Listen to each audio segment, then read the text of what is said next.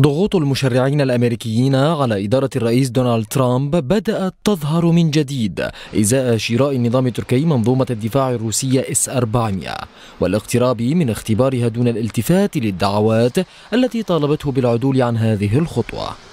And render a fair judgment. السيناتور الديمقراطي كريس فان هولين والسيناتور الجمهوري جيمس لانكفورد وجها رسالة لوزير الخارجية مايك بومبيو يطالبان فيها فرض عقوبات على النظام التركي بسبب اختبار المنظومة الروسية اس 400 على طائرات أمريكية الصنع المشرعان الأمريكيان وجها أسئلة لبومبيو عن حقيقة ما جرى بشأن اس 400 وحول ما إذا كان النظام التركي قد دمج النظام الروسي في رابط البيانات التكتيكية لحلف الناتو. وما إذا كان ذلك سيمكن روسيا من جمع معلومات عن الحلفاء في الناتو.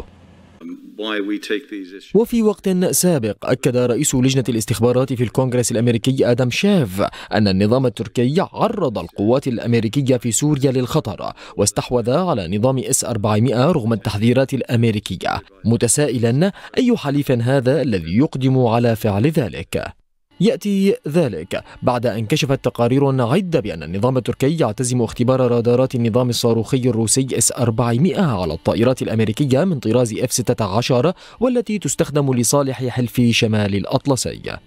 وقد تسلمت تركيا نظام إس 400 العام الماضي على الرغم من تحذيرات المسؤولين الأمريكيين من أنه يمثل تهديدا للمقاتلات الأمريكية إف 35